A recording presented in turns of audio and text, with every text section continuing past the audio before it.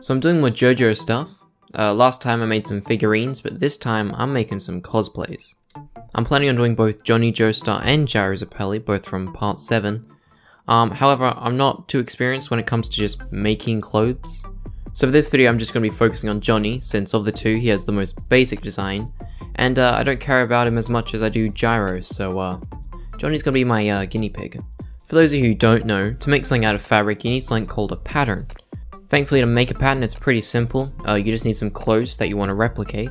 Then once you've got your clothes you just want to turn them inside out and then just trace all the seams onto a piece of paper. There you go, now you've got some fancy patterns that you can use until you lose them.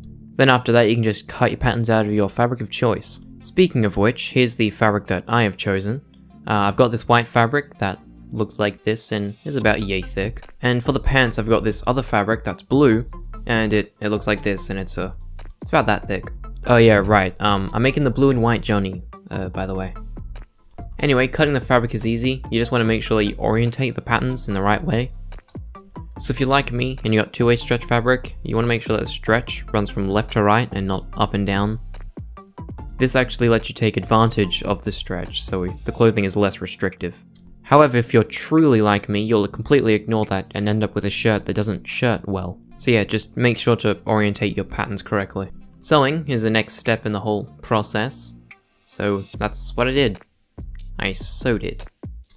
Now if that's done, it's time to add some paint. Starting with the stars, I printed out this little star template, which I then taped onto the fabric and filled with paint. The blue stars on the white fabric turned out really well, but the pink stars on the blue fabric not so much. I also did a similar thing for the horse on the beanie. And I, I mean, if you squint really hard, it doesn't look that bad. And then for the lines on the shirt, I just used some tape and more paint. And now for the finishing touches, I placed the hearts and horseshoe where they were meant to go. The hearts I attached with a little bit of hot glue, while the horseshoe I just kind of stitched it in. Okay, well, that's it. Here we go, that's, that's what it looks like. It's, it's Johnny! It's not, not the best thing in the world, but at least it looks like Johnny, so it's not that bad, I suppose. Um, let's just hope I can do Gyro a lot better.